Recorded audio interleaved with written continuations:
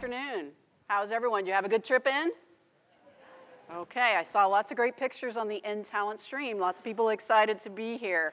And welcome to our session, the 1 p.m. Uh, startup recruiting function, organizing the chaos. My name is Jennifer McClure, and I'm the president of Unbridled Talent LLC, which is my own company. I do speaking, training, workshops, and I work with companies on their talent acquisition and leadership development strategies.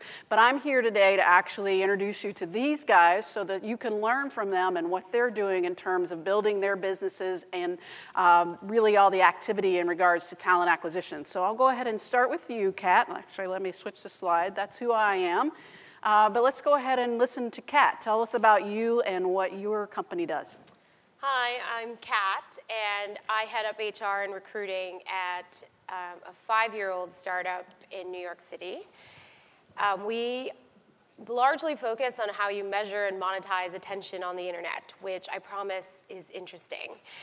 Um, many large publishers and content producers use our products to um, better understand their audiences and how they build loyalty over time. And um, post Series B in April of 2012, Chartbeat was a little over 10 people. We are now about 80 people um, going into Series C this fall and um, looking to double in size next year. So along with that comes its own set of fun challenges and interesting problems to solve for.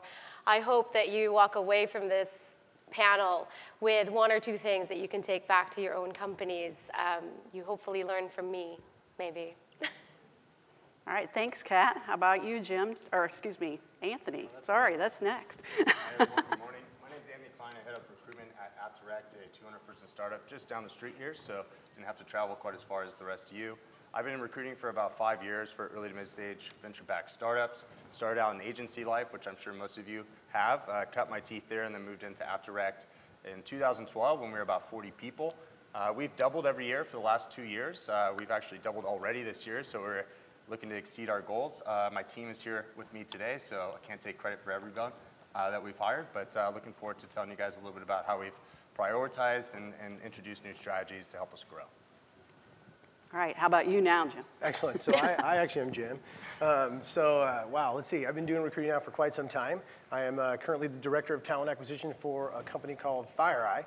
Um, when I got to FireEye a little over three years ago, we were just shy of 100 people. Um, as of today, we're north of 2,700.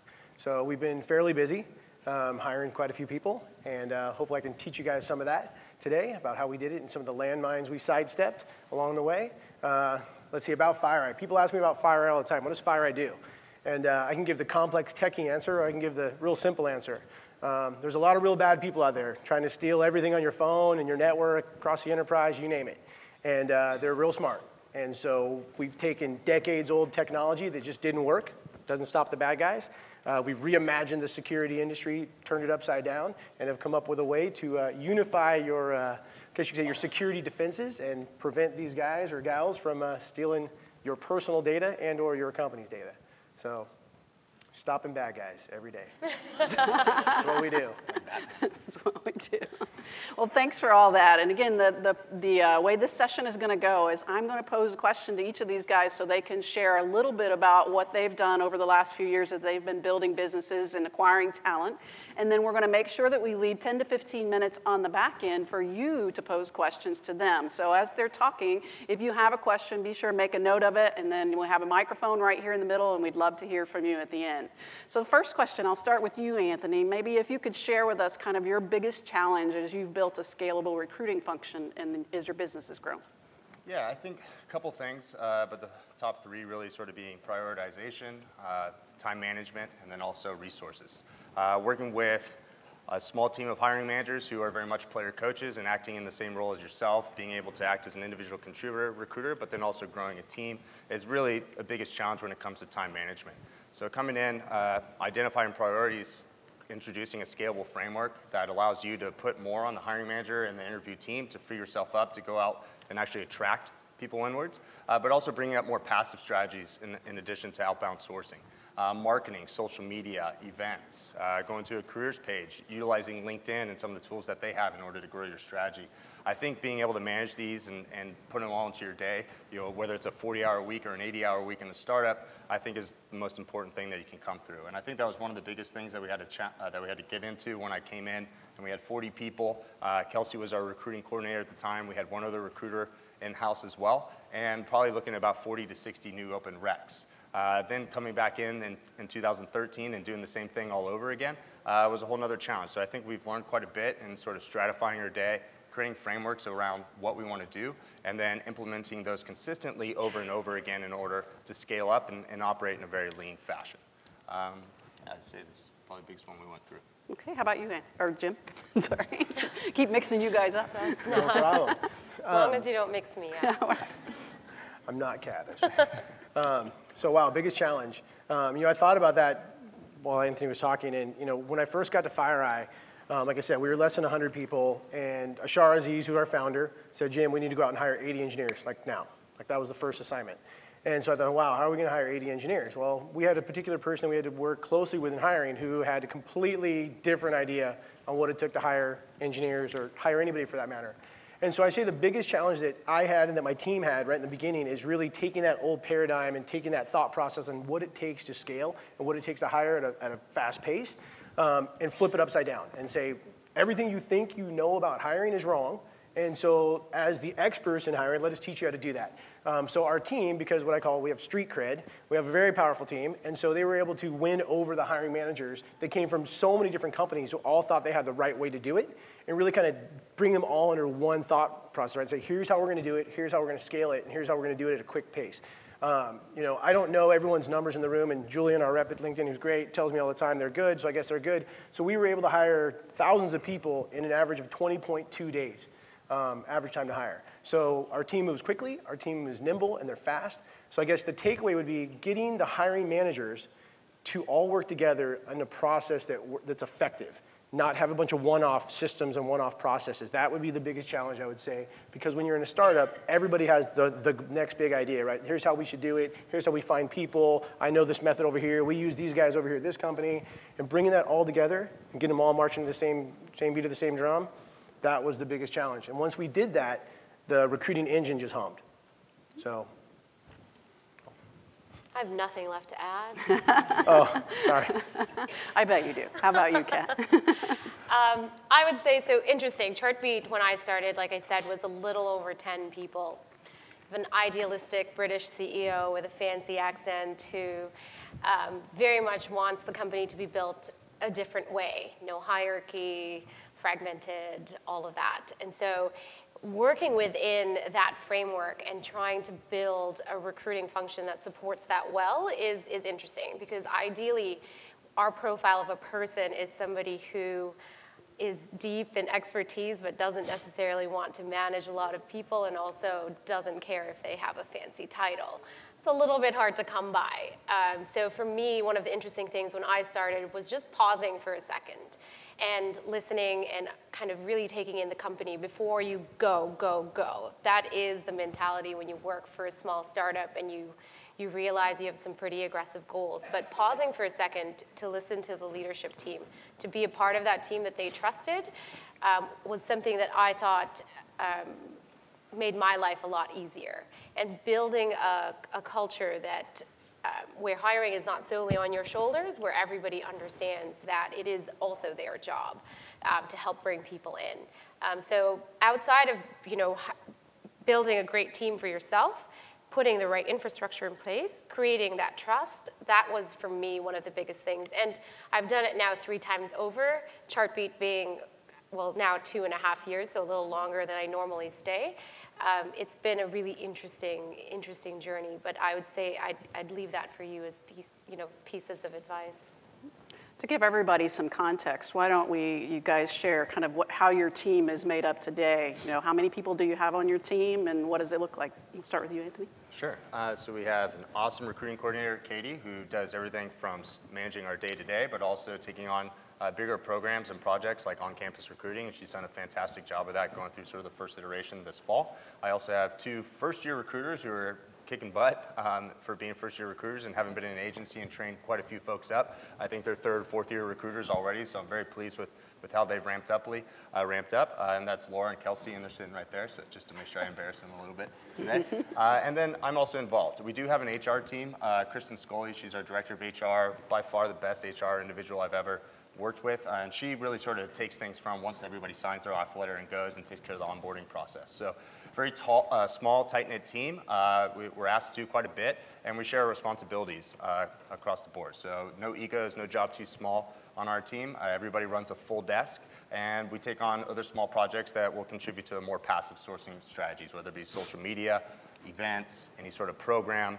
Uh, we've done some pretty cool things with enhancing our image on LinkedIn and Glassdoor by getting folks on our team uh, to come in and, and actually uh, update their profiles, connect with other peoples on the team. And, and, that was actually Kelsey's idea. We called it WAS. We're a software as a service company, so we were waffles as a service. And so everybody that came in there and updated their profiles, we got, they got breakfast, waffles, and, and a few toppings. okay, cool. How about you, Jim? Size of your team? So how my team is made up is what you yeah. want to know? So, so when I first got there, I was the team. And then I had to build the team, obviously, to, to go out and find all these people. Um, so I've known, I've got to know a lot of people in the industry. So I tapped a few people that I knew, started from there, and now my team is 25, something like that, somewhere in there.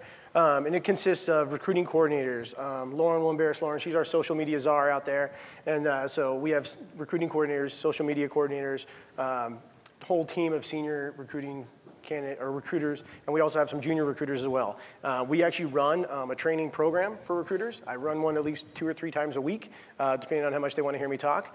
And uh, we go everything from building rapport, sales training, pimp your profiles, what we call it, um, how to train the, train the managers on how to hire, you name it. Um, but it's a pretty traditional model. We have recruiting coordinators, we have social media coordinator, which is new this year, and we have uh, all of our recruiters, like Anthony, work a full desk um, from the intake meeting all the way through closing the candidates. So the training is voluntary. They can come if they want, or do you like take attendance?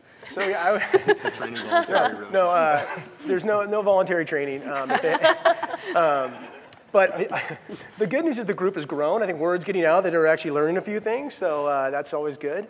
But uh, no, the training is definitely not mandatory. But it's just something that, you know, I have a saying. I have a saying at work. I'm a former athlete. I don't do that anymore. Those for my kids. I, I have a saying: "There's great athletes make great coaches." And so if I want my job to be easy as a coach, leader, manager, whatever, then I need great athletes. I, I, do. And the thing that I've, like, big problem I've noticed from most recruiters is, you know, you go to school, you read a bunch of books, you do a lot of training, you get a job, and you stop doing all those things. Same thing with recruiters. Recruiters, especially when they get into corporate America, they don't have to eat what they kill, right? So every day gets a little bit lazier. They, they don't dot the I's or cross the T's as much. So that's why we run training. We want to make sure that they keep their tools sharp, uh, whether out there looking for people. As all of you guys know, especially startups, um, finding the best talent, the top talent, is tough to do. And if you don't have great recruiters, it makes it even more difficult. I mean, we can talk about the story and the value, but if you don't have great recruiters, then you're not going to be able to get a top talent. So we train them up, we keep them fresh, keep them sharp. Great. And Kat, how about how's your team made up? My team is small. My team is myself.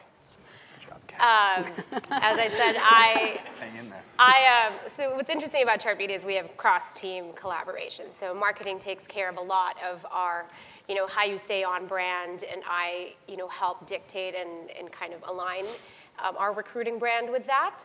Um, we have a really strong hiring culture. Like I said, every hiring manager, every executive is effectively the hiring manager, and they are responsible for making sure their teams are in line. But I would say because that culture is so strong, I've been able to survive for a long period of time on my own, um, growing Chartbeat uh, with a PEO. So I don't handle payroll and benefits administration. I can't say I do everything on my own.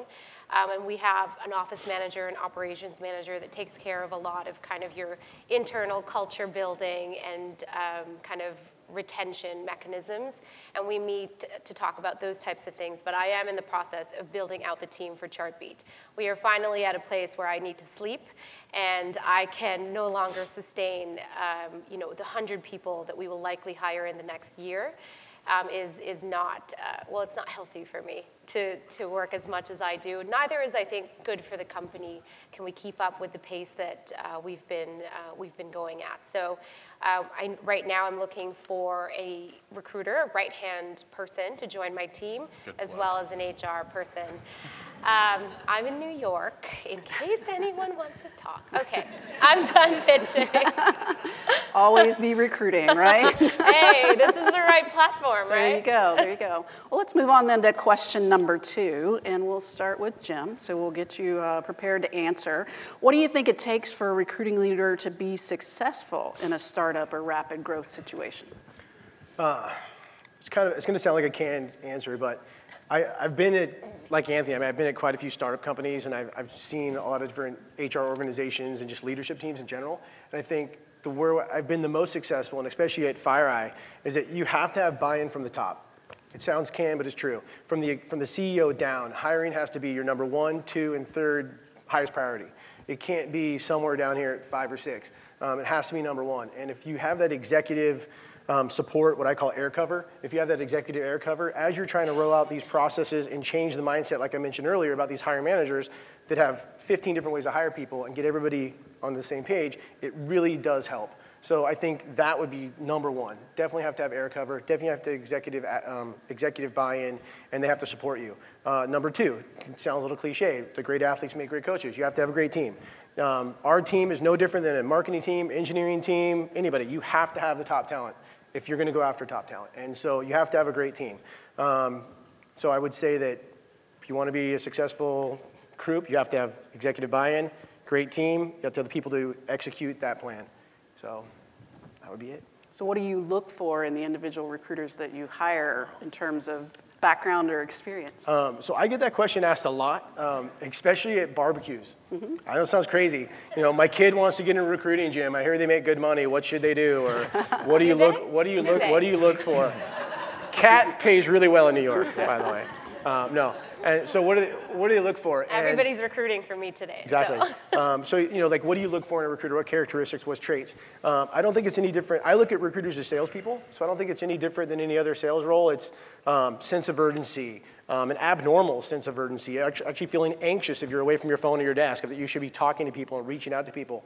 Um, you know, attention to detail, believe it or not, probably not so much for recruiters. Um, there's not a whole lot of attention to detail for recruiters, but high sense of urgency, do it now mentality, someone who takes initiative, people that are problem solvers. There are people that identify problems, and there are people that just solve problems. We look for people that are problem solvers, and we look for people that take initiative and just go out and run and do it. Okay. So, Great. How about you, Kat? What do you think it takes to be successful?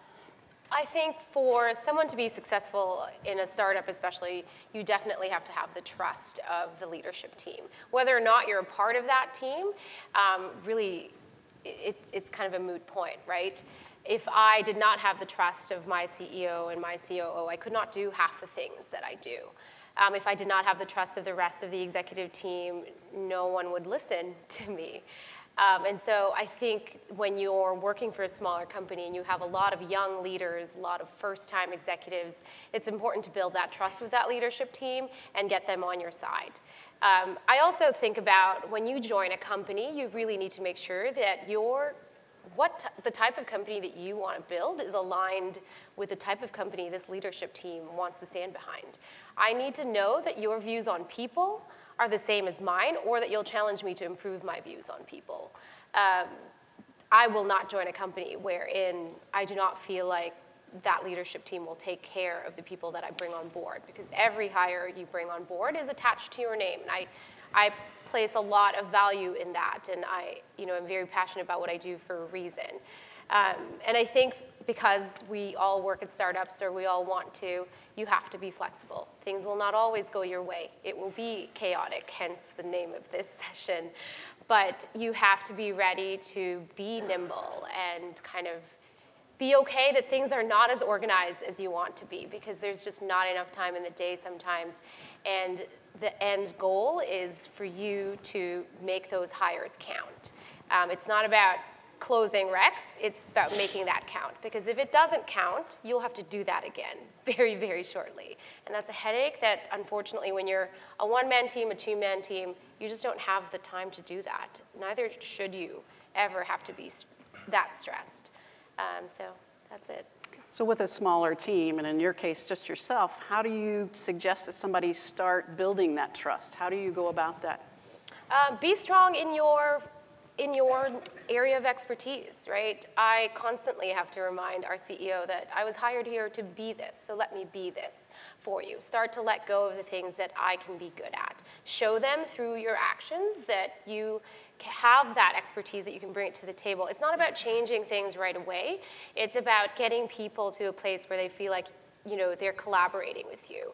Um, I have a lot of, and I'll give this as a very short example. Um, you know, we hire a lot of front-end engineers at Chartbeat, and we were not getting the caliber that we wanted. And our, my front-end team, they just completely redid the whole process themselves. I didn't have to initiate, I didn't have to make them do it. They just did it because they understand the value of bringing good talent in. And I think when you breed that type of mentality, it kind of filters down from the head of engineering to, you know, to his entire team. And when you're a company like ours that is very front end focused and we're very known for that, it warms my heart to see that that happens organically without, you know, having to twist someone's arm to get to do it. All right, Anthony, what are your thoughts on what it takes to be successful? Yeah, definitely everything that Jim and Kat had to say, I would, I would piggyback on pretty quickly. I think, you know, getting executive buy-in is, is important. And a big reason why I joined AppDirect was because I had that relationship with Daniel and Nicholas, our co-founders, from my consulting days, where we had worked together when it was just the two of them in a, in a small office to hire engineer number one and, and continue to, to, you know, have a strong relationship over time. Uh, but I also think it's, it's setting expectations early, and it's, it's really sort of building that infrastructure for growth. So in the same way that you're going to go build out a new building, you got to do your infrastructure first. You have to understand how you're going to evaluate the people that are going to come in and, and really build a framework around that. And for the other departments that you're going to eventually come to build out over time as well too. Really training your hiring managers and interview teams to get it right the first time. Uh, we only have one shot at evaluating candidates, but we, it's, it's not just the evaluation, it's also our own performance. We need to be able to show in there and give each individual that comes through our office as a guest a great candidate experience. We only have one shot at most of these folks that come through in a highly competitive environment. So I think training, setting that infrastructure, putting those frameworks in place so everybody knows what their role is, is huge for us being able to capitalize. And as a recruiting leader, it's important for me to drive that influence, uh, to be consistent, and to really sort of manage my schedule and our priorities in order for us to get things done as quickly as possible. Uh, when identifying team players, uh, whether they be for our recruiting team or for other AppDirect team members, we have a set of core values. And I'm fortunate that we have those core values very early on in place.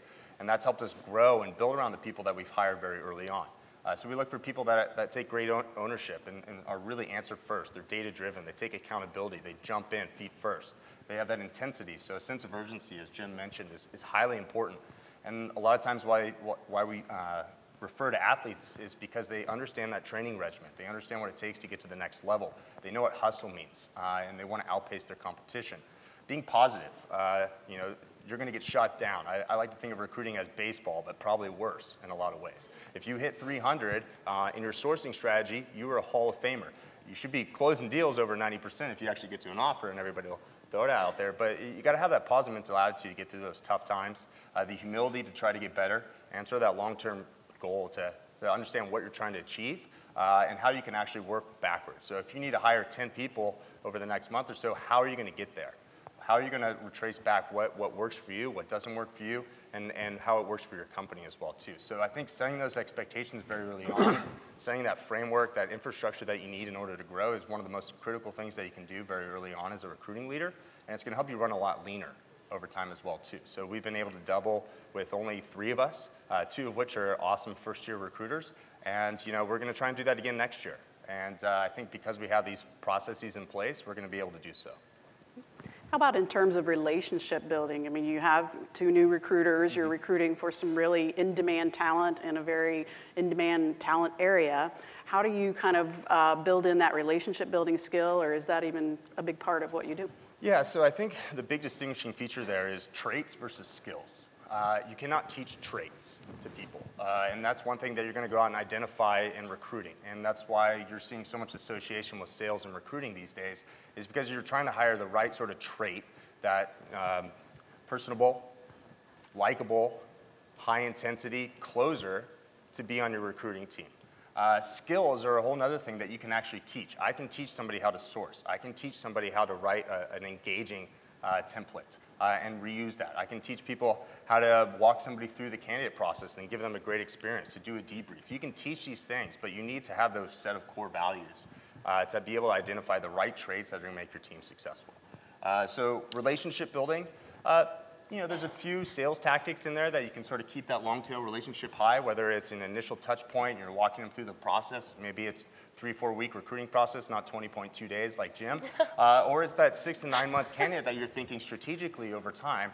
This is going to be the right person for that role six months down the road. How do we sort of maintain that relationship? How do I keep that relationship figure, figure high? And how do I give that person a great experience even though we might not have the perfect role for them right now? Um, so I think that's the big distinguishing feature there is that you have to identify the difference between traits and skills. You can teach skills, but you can't teach traits. Okay. All right, let's move on to the third question. We'll start with you, Kat. Maybe share with us one of your secrets. What's your most effective sourcing recruiting strategy that you have today? I, I would say, so to kind of go off what Anthony was just saying, or what you were saying around building relationships, is um, I'd say one of the most effective things for me um, running kind of a solo ship for a long time is uh, making sure that I have a very strong network of people and that my people have a strong network of people. And that means every executive, every developer, every salesperson. Um, because of that, our referral percentage is always upwards of 40%, which makes my life just you know, that much easier. It doesn't mean that every referral is a great referral, but it does mean that people are looking out for you and in all the places that you might not have access to or all the places you didn't even think to look.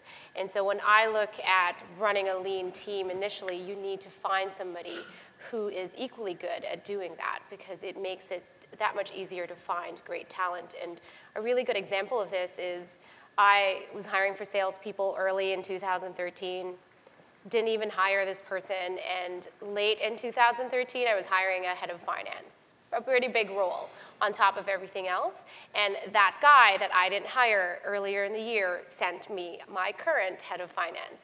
And he's like, I have no idea what you want, but this guy's great. And if, if you guys meet in the middle somewhere, he's moving from LA. Never would have found him otherwise. And New York City being the city of finance, you would think that there are plenty of folks that would do well you know, in that role. But it was very interesting for me to see something like that come together and validate the fact that you need to treat every candidate well because you actually never know when that's going to come back. And, and it pays off. I think it absolutely does pay off. Anthony, what's one of your secrets that you're willing to share with us? Yeah, I, have had trouble coming up with an answer to this question because I, I, don't think that anything that we do is, is really new. And mm-hmm. uh, I, I, struggle to think that there is a great secret in recruiting. There, there's probably not, to be, to be completely honest. Uh, you know, you have to do it. You, you have to know what's, what's expected of you. You have to go out and you have to hustle. Uh, you have to do it over and over and over again and you need to take the best qualities that come from sales and marketing and other positions that we're now starting to inject that sort of skills DNA into recruiting. You need to adopt those and become excellent at them. Uh, so, I mean, in terms of strategies that we've gone after, utilize the team that you have. If, if you're a small startup, uh, set those expectations very early on with your hiring managers, your interview teams, with your uh, executive and leadership teams that this is how we're going to recruit. This is the information that I've gathered from the rest of the market to say this is the best practice that is out there today. These are the, these are the great new secrets that are here in recruiting, but also have been adopted from sales and marketing over time. They're going to help us be more effective. Uh, start training your team and make it, make it a regular thing. Every quarter, make recruiting part of new hire orientation. Uh, if you have a, a, new team member that you want to put into the interview lineup, make sure you train them properly. Help them understand what is expected of them during that interview performance. It's not interviewing and asking everybody to, to get the most out of them. It's how can we get the most out of them during that interview by being well prepared, uh, but also studying uh, people's backgrounds. Uh, but going in there, trying to close the deal. That's how your interview teams should be thinking about this. Not necessarily evaluating everybody, I'm trying to close this person and get them to the next step. Uh, a couple other things, you know, just be active. Uh, stay humble. Understand that you can learn and try new things over and over again, but you just have to do so with a certain sense of urgency. So no big secrets that I, that I think are out there. Uh, it's just, you know, continuing to try new things, uh, doing so at a high rate of speed, and, and being very detail oriented and following up in your work. Okay. Jim? Big secrets. So I thought about this, and I agree. There's there's no silver bullet, right? There's no silver bullet. Nothing's going to ever, um, like I said, be a better solution than pounding the phone or getting on InMail and talking to candidates. However, I did. I tried to think back of what we did in the very beginning. We still do some today. Actually, most of it today. And so, like Kat said, employee referrals has been huge for us, huge. Um, it's no secret. I mean, there's, there's, employee referrals are big. When we first started doing our employee referral program, nobody knew we had an employee referral program. They just didn't know. They're heads down, working, working hard. Um, so we obviously, I guess, you know, revitalized the, the interview, the employee referral program. And some of the things we did, this is our secret sauce, this is what we did, and it worked. And we were upwards of 55 to 56% employee referrals um, and in our big growth mode, is we have what we call new hire social, engineering social. Okay, so the engineering socials and the new hire socials happen once a quarter. Um, engineering has their own sort, their own social because they're special. Whether you like it or not, they are. Um, not, and They are. they- you have to have your own. Um, sometimes, tell yeah, that too. yeah, Don't remind you. yeah, so, exactly. Um, sometimes they're themed. It can be a casino night. It can just be hangout, drinks, and food. Um, you name it. So everyone can do that. That's a no-brainer. Well, at a startup environment, most of you guys probably remember, or you're living it now. There's no swag. There's no backpacks. There's no T-shirts. There's no little tchotchkes. There's nothing. And so we were no different. We had zero backpacks, zero zero swag whatsoever. So we came up with these awesome backpacks, fire backpacks. And every 10 referrals that you give us, you get a backpack. So then at the New Hire Social, every referral you give us, not only do you get the backpack with 10, if you bring 20, you get a backpack and a jacket that we paid for out of our recruiting budget, and you get a raffle ticket. So for every employer referral that you bring, you get a raffle ticket. Then you come to the party, you bring your raffle tickets to win Beats headsets, iPad minis, you name it, and our employee referrals went through the roof. Right? Everyone likes free swag. Don't give me. I mean, they get five thousand bucks if you find a guy or a free backpack. They care about the backpack more than the five thousand dollars. Uh, but, but it is. I mean, you see them running around campus now like a badge of honor, like the FireEye backpack, because you can't get it. You can only get it if you give us referrals. That's it. Can't buy it, can't earn it other than referrals. So that's one thing. So new hire social for every new hire, engineering social for just engineers once a quarter. That's what we did. Um, also, too, not to sound like a big homer here because we're at the LinkedIn conference, um, we work very closely with our LinkedIn team. Julian's there in the audience. We'll embarrass him. Um, one of the things we do all the time is called we call it internally our sharing campaign. Again, tied to employee referrals. We've taught, with the help of Julian, of course, uh, we've taught all, everybody at FireEye to be a brand ambassador, to be a salesperson, like Kat was mentioning, for FireEye. And we've basically have taught everybody how to share in two clicks or less. So when we're doing an intake meeting or we're, we're sitting down with our teams that we support, we teach the hiring managers and the interview teams how to share jobs. Um, it doesn't seem very difficult to do, but when you dumb it down to like a fifth grade level, they seem to do it more often, um, which is good. Um, so that's what we've done. Employee referral program, of course, that's the canned answer, but the way we did it, free backpacks, free swag, you guys should own it. Get a referral, get a raffle ticket for every referral, get prizes, throw them in there, have good times, give them some alcohol, and they, the referrals just keep coming. Uh, uh, one of the, and again, I'm, I was trying to figure out, I'm going to give you guys a takeaway of what, exactly how we did it. So when we're, I'll give you guys some more information if you want to know. But so when we're at these socials, we literally have the TA team is standing by like the Apple store with laptops in hand. And they're coming in and they just give us any name they want and we look them up on LinkedIn. And uh, our program is simple. We just need a name. I don't need a resume. I don't need anything. Just give me a name and maybe a, a company that they used to work for. We'll track them down, right? So Anthony, you got to be good, right? You've got to put the groundwork in. And so that's all we need. That's, that, that counts for us. And so they're there with laptops in hand, looking people up, registering referrals, giving them their free stuff. They're lined up out the door to get it. So that's been a big, big program for us, and that's how we did it. There's your secret. There That was go. a great answer. Write The only- that down. The only thing I took out of that was backpacks. So Yeah. write down backpacks. That seems to be the answer. I, am serious about. I mean, we, we have people come over. I mean, now we're, we're global now, but I mean, we have people coming in from Dubai or the UK or Australia. The only thing they want while they're on campus is a backpack, and we make them earn it. We say, hey, you need to 10 referrals. so in terms of your global organization, how do you handle that with the social? So that's a good question. Um, un, un, they do get an invitation. However, however, uh, we have pretty low attendance when it comes to our uh, global population. But, but facilities is actually really good about including them in any type of event we have uh, on the local, you know, in the local regional offices. Uh, but the new hire social and the engineering social, you have to be in headquarters. Yeah, unfortunately. Do you do that for external referrals as well too? Yeah. Oh, you mean, that, you mean as far as like an agency? Say you have a, a ex- external partner client that refers you 10 people, would you send them a backpack? Absolutely. Yeah, absolutely. Oh, no question. FireEye No question. for Anthony, I'll get a backpack for you. let, me, let me know your jacket. Let me know your jacket size. For 20, I'll get you a jacket. My fees are a little higher than that. There you go. All right. All right. Well, all of you have mentioned in some regards something about candidate experience and how important that is in terms of your recruiting process. So, Anthony, I think you brought it up first. Why don't you tell us a little bit about how either you're focused on candidate experience or with a small team, you're either able to deliver a candidate mm-hmm. experience? It's just really important, right? You, you have one opportunity to make a first impression, and you need to sort of carry that impression all the way through. And so I think it's an attention to detail. The way I've, I've tried to relate it to the team is I want us to be like the concierge of a really nice hotel when you walk in the front door. I want us to have smiles. I want us to know where every facility is. I want us to know the background, the information on the company that we work for. And I want us to sort of be service oriented. Uh, my father's in hospitality, he runs a small business. I spent about five, six years in hospitality, serving tables, bartending, throwing events, you name it.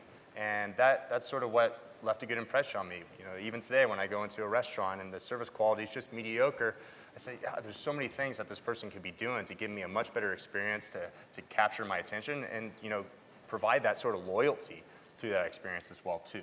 Uh, you know, the other things that you can continue to do, take great notes. Uh, you know, that, that first impression that, that you put on that person, ask them a lot of questions. Take great notes on that. Bring that through the experience uh, and, and through each other touch point that you have with that individual. Show them that you're paying attention.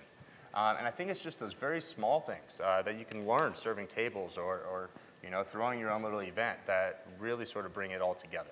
Uh, but I think we carry that to our interview teams as well too. Uh, we don't want them to think of it as an interview. I want you to think of it as a performance. You know what your roles are. You know what your questions are. You know how we're going to evaluate these candidates and how we're going to continue to measure them and, and what we're asking them to do when they actually come work at AppDirect. So let's continue to think about our table manners, the things that we learned in preschool or that our parents taught us very, very early, early on, and let's apply those to the, the candidate experience as well too. And that's how we've kept it pretty simple because hopefully everybody that's on our team has gone to eat at a nice restaurant or, or gone and stayed at a hotel at least once or twice and, and can distinguish the difference. Jim, how about you and candidate experience? Yeah, so I mean, obviously it's very important, right? It goes without saying. Um, I think I learned pretty early on in my career about candidate experience. I really wasn't thinking about it, to be honest with you, when I was just working my desk. And I worked at a company which I will leave nameless, but uh, we churned and burned through so many candidates. And you don't really think about it because you're working your desk, you're on the phone, you're, you're talking to people, and you just want to get people in for interviews, right? As fast as you can, as many as you can. Um, you guys have probably all seen the funnel 100 people, down to 10 people, down to one hire, all that good stuff. So you, you have to bring candidates in to interview. The problem is, if you don't treat them with respect, if, you don't, if you're not hospitable, right? Playing Anthony's words there, it's, it comes back to bite you. Because even if that person, let's say they come in there two, three years of experience, they aren't the right fit. They, aren't, they don't have the right technical ability at this point. Well, six years later, three years later, five years later, they will. And if they have a bad experience, as you guys all know, they're going to go out and tell 20 people that the company was horrible, they treated them wrong, I sat for 20 minutes, no one came and greeted me, they gave me the hardest question they could ever think of in their life, I could never, there's no way I could ever answer it, neither could they. Um, they're never going to come back to your company. And so if you want to be a sustainable company, and you're going to make it throughout all these years, you need to tap back into that candidate pool. Like in our industry, security, there's only a finite number of people right now that are available in our space, right? That'll grow, but right now, the type of people that we want right now, it's, it's tough to find. The numbers are low, right? So if you don't treat them right or treat them with respect, you're never going to get them back if they just don't have to be right for that job. So it is key, um, you know, and, and, you don't think about it until you've been through that experience, and then five years later, you call them back and say, "I'll never go interview that company again." And you're like, "I guess it made a difference." Right. So yeah. Right definitely important. Now, Kat, you're a department of one. How do you manage candidate experience for all of the candidates that you're working with? You have a lot of help. Um, every hiring manager helps. Um, every person that's involved in hiring understands that it is a privilege to be part of this process. It is not because you are the only engineer here. No, it is a privilege for you to be part of the decision-making process. I reject everybody that applies. I respond to everybody that applies. It is time consuming and is probably not the best use of my time. I do it while I watch TV, but it is undoubtedly one of the most valuable things that I've learned in my career is that pays in dividends. That little time that you took to send them an email to tell them they're not a good fit or to explain why they're not a good fit for this particular role or get on the phone um, quickly is invaluable. It makes my job easier and makes the reputation um, that you want to bring to market, it solidifies it. And when you spend so much time building your recruiting brand, why ruin it by offering up bad candidate experiences? It's just counterproductive.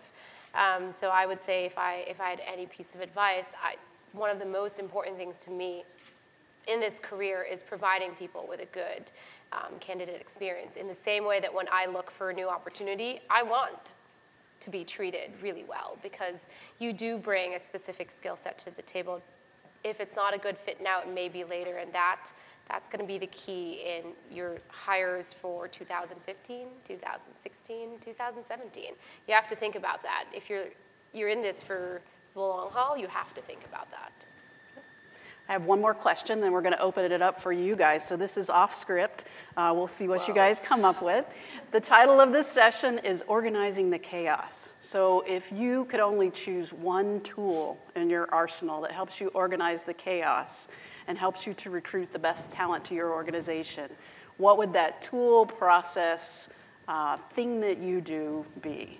And we'll start down on the LinkedIn? end. Well, we'll start with Kat. Don't start with me. okay, we'll start with Anthony and we'll work our way back. throw, throw me on the spot. Uh, my calendar is, is probably the most important thing that, I- that I have. I plan my day the night before. I know who I'm chatting with. I've done my research the night before. If I'm sourcing, I know what companies I'm going after. I know what I'm looking for, and I'm ready to go. Uh, I don't waste any time when I get in in the morning. I'm able to accomplish more in a highly concentrated amount of time, and, then- and then get back to, to leading the team and, and helping us grow, um, or finding something new to work on. So I think the more you can manage your day, the more you can stay organized, uh, the more effective you'll be. Uh, every other tool that's out there is really important, but I think it's how you own your day and, and how you sort of take care of the rest of the organization by time management. All right, Jim. So I get to pick one thing to use, right? One thing. One if you had to like claw it away with your I would, no- I would say phone, Yeah. but Yeah. phone. if I had Oh, to pick Yeah. one tool. But nowadays it's probably laptop. But uh, yeah, no, I'm just kidding. Um, gosh, the one thing. Wow. There. Let's see. There's so many. Matter of fact, I'm going to steal an answer from Kat when we talked like probably a couple weeks ago, and we talked about tools. And you know, I wouldn't say there's one particular tool that's significantly better than any other tool if you don't know how to use it properly right? And that's, that's the truth. Um, I think the analogy I gave one on the phone was like it's almost like a surround sound system. Everybody buys the best surround sound system they can find, they do all the research, and they get home and they stick it on auto. That's all they do. They never tweak it, they never manipulate any of the settings. And so, for instance, like, again, not to seem like a homer, but we obviously, probably like most people in the room, we use LinkedIn a lot. I mean, we, we use it a lot. It's our number one tool that we use on a daily basis. But it's one of those things that's a monster. It's huge, right? It has so much ability and so many features that if you don't partner up with your LinkedIn reps, I know this sounds like total homer status here, but it's absolutely true. Um, to tell you the truth, when we first started using LinkedIn, I didn't realize that we'd get that much help. And one day I was talking to one of our reps, like, well, why don't we just come in here and show you guys how to do that? I'm like, you guys will do that? Um, that's great. And so they should have never told us that because now we have them in there constantly um, showing us everything. So uh, it, it definitely, I don't think there's one tool that's better than the other if you don't know how to use that tool, right? Yeah. And so whatever tool you guys choose, whatever environment you're in, whatever your budget allows, become a master at using that tool um, because you're spending the budget on it and you might as well use, learn how to use it. And if it's LinkedIn, call your rep. They'll come out and help. All right. Kat, you got an answer or is Jim still yours? Still mine. Um, one tool. I I would say invest a lot of time early on building your engineering or your brand, your recruiting brand, your engineering brand. If you hire a lot of engineers, which many of uh, us do, um, make that investment. It is time consuming and annoying, and it doesn't necessarily pay right away. But once you have it, and it's, once it's established, it it definitely helps, and, and more than helps. It shapes how you do things. And so, if I was going to go back and kind of redo every time that I've gone and, and built a, a startup, it's I would start from there.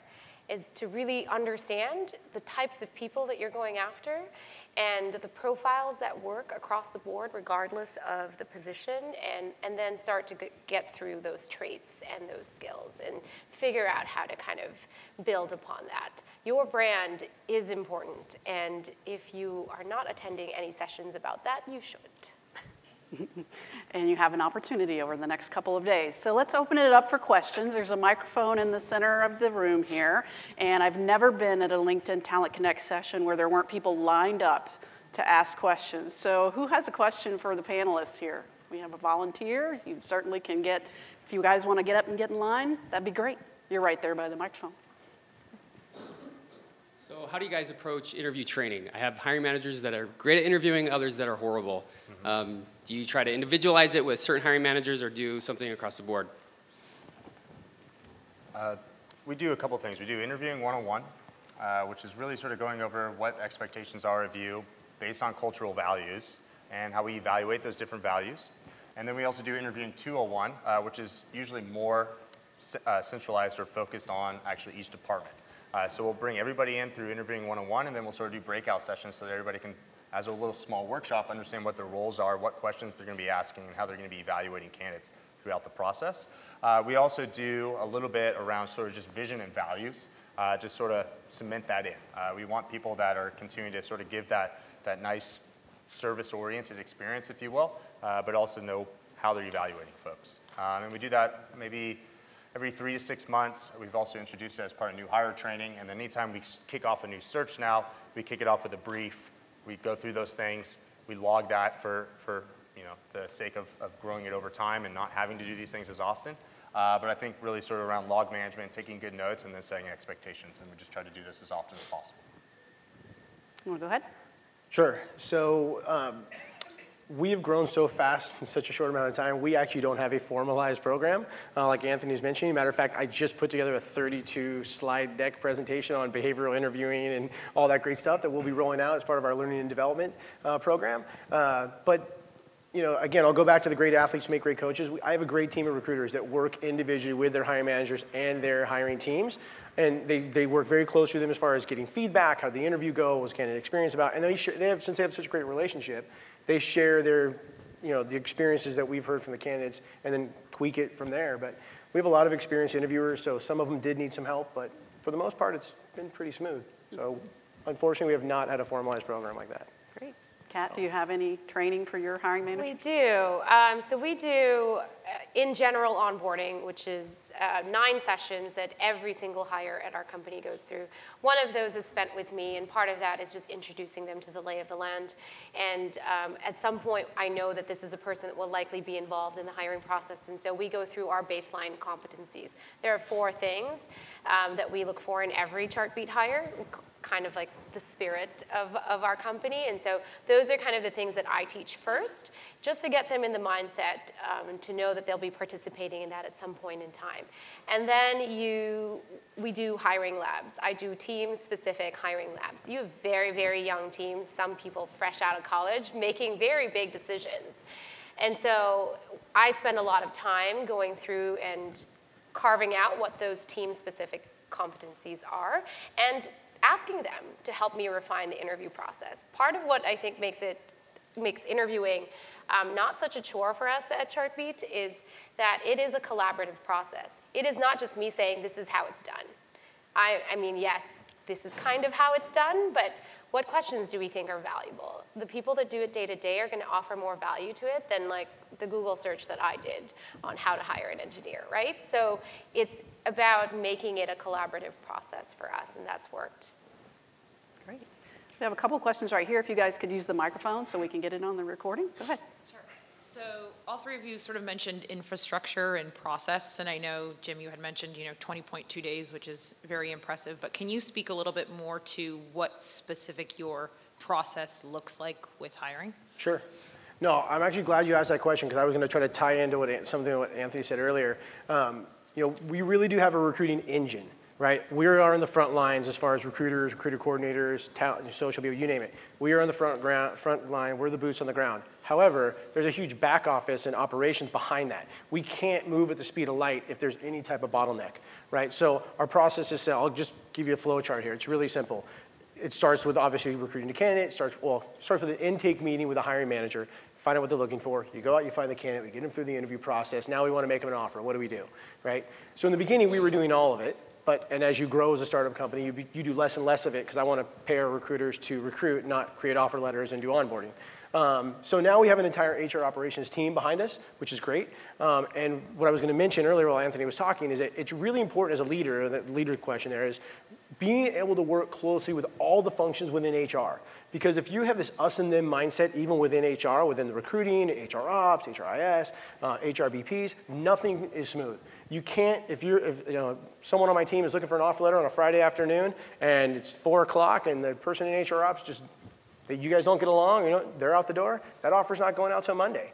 Um, so it's really important to have that relationship with them, and it's really important to teach them what your needs are as a recruiter. Because a lot of times, like, hey, I just need this offer by four.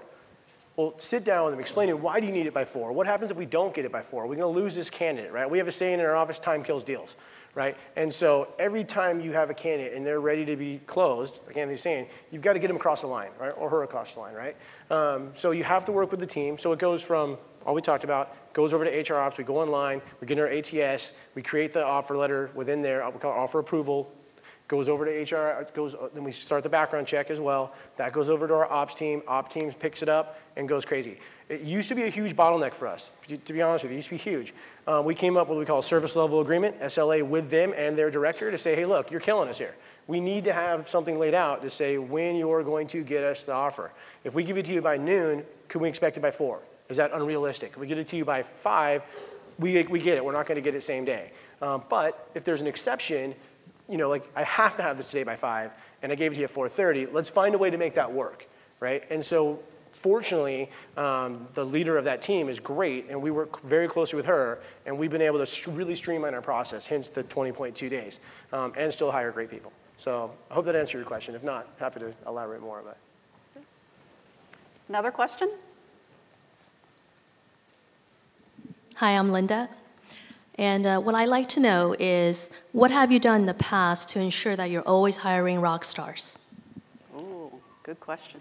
Why don't we, Anthony's like stirred I'm like. I'll, I'll answer that right now. answer. Kat hasn't answered one. I don't know if I have an answer. Rockstar is different in every company, right? So it's about defining what that is first.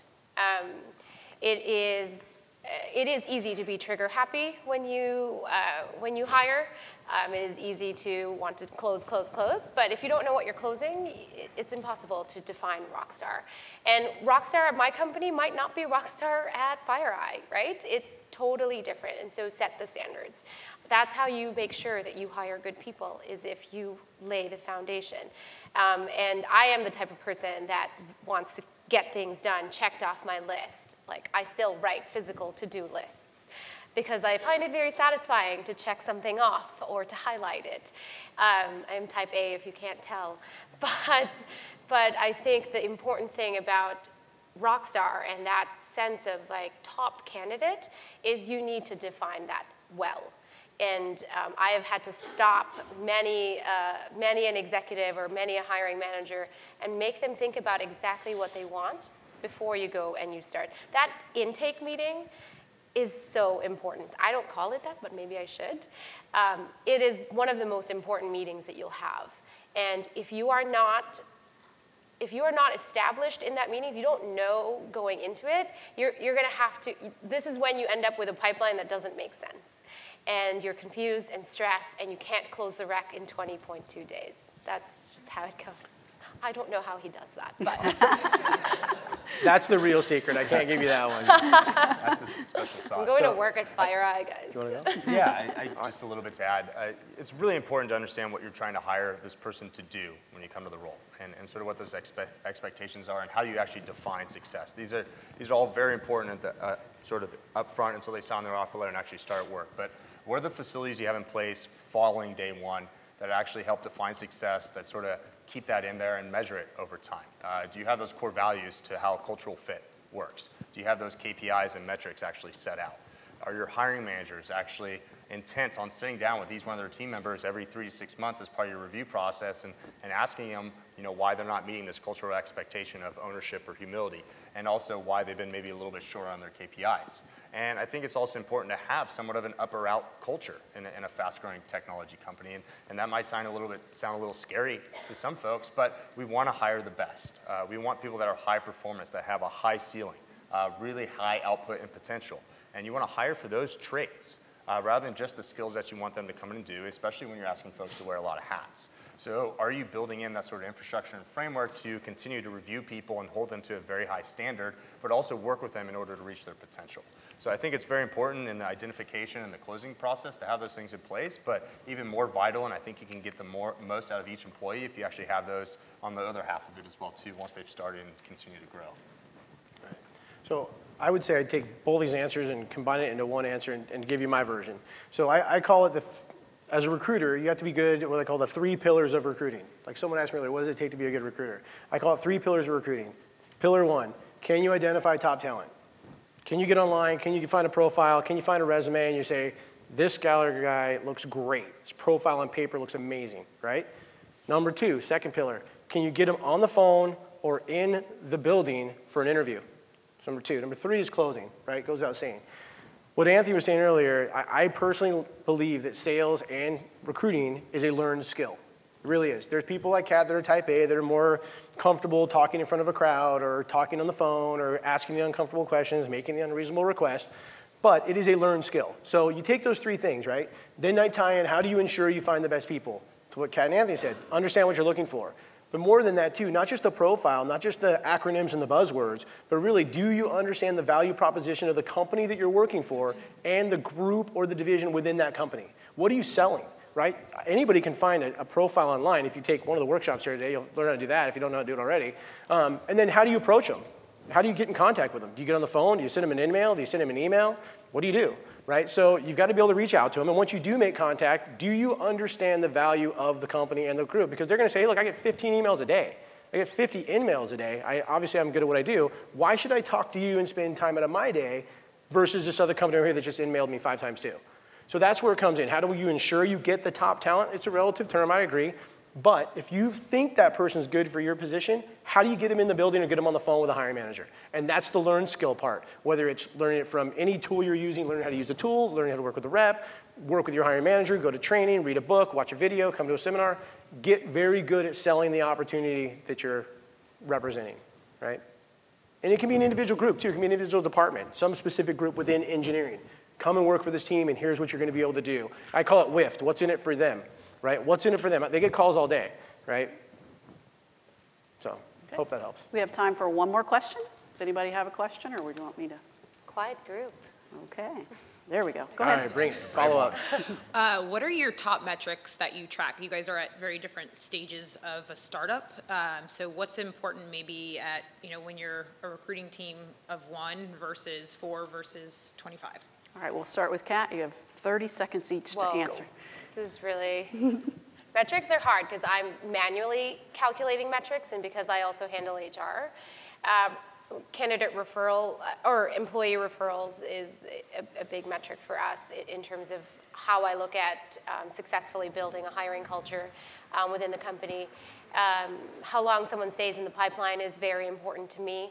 Um, it speaks to candidate experience, and when you're this lean, you need to make sure that no one's staying in the pipeline for too long. It also means that you have a strong enough hiring culture that moves things along, even when you're, you know, here on stage. Someone is back home, making sure candidates are getting closed, and there are at least four offers about to go out today, and I'm stressed about it right now. But when you have when you have the mechanisms in place and you've put the trust on back on the executive team that you support, then things will happen. And when you enable them to be that advocate for you, you don't have to sell as hard because you have other people selling for you. All right. Jim, number one metric? Number one metric. So as a recruiting leader, I would say that my number one metrics I use is can't quantify it. I talk to the business and stay close to the business. They say, hey, Jennifer's doing a great job. Jennifer's doing a great job. If the, my client is happy, then that, that's number one for me. Because if you just measured it by hires, that's difficult, especially when you really are reaching for the top talent that's out there. And you then you default. If you just did hires, that's simple, right? How many hires you get? Great job, high five. Time to hire is important for me too. Not necessarily the 20.2 days, but if something gets over 60 days, it gets on my radar. I want to know what's happening. Did we have 15 people come in? We presented five offers, and they all turned us down. Why are they turning us down? Why, you know, what happened to those 15 people? Did they have a bad candidate experience, right? I mean, so that, those are the numbers within the numbers that I look at. You can't just go by number of hires or number of submittals or number of on-site interviews because the type of people you guys might be looking for, they're so rare and so difficult to find that you're not going to get the traditional numbers that turn and burn through a normal cycle, right? So I don't really look at specific numbers per se, but my number one metrics I look at is the business happy with my team? And are they doing a good job? Are they happy with the quality of candidates they're seeing? Are they happy with the pipeline? And that's a tough thing to measure, but Anthony? Yeah, I, I, I like Jim's comment. You know, data is important when you're having issues, right? So do you have that collection system to monitor data in the background while staying focused on what's important to you? So, you know, for having first-year recruiters that are absolutely kicking butt, you know, I want number of touches. Let's continue to work through the numbers game, and then let's see how we can move those people through process. Always push process. Move it as fast as you can. If you, you're not quite sure 100% what this person's going to do, and I think this is probably more related back to agency life, uh, if you're not 100% sure, get them to take the call with the hiring manager at your client. Get them in the door. Allow them to pick it up for you and, and take things from there. But provide that experience. Ask them the right questions. Be a great listener. Take good notes. Uh, those are important things. So top of the funnel is very important to us how quickly we're able to push process and get them on site. So those sort of conversions are pretty easily measured. And then, you know, are we, are we knocking out the recs that we have to do? But I agree with Jim. You know, data is going to be really vital when you're having issues, not, not when you're up front kicking butt and ahead of your number. Uh, so just make sure you're able to capture them and measure them over time and, and know where you can go in and identify where the breaks are and fine tune things, uh, more so than one, one metric in particular. Great. Well, you guys have, uh, I've learned a lot myself. I hope you have as well. So I want to thank Kat, Jim, and Anthony for their answers today. And thank you. You guys have a great day.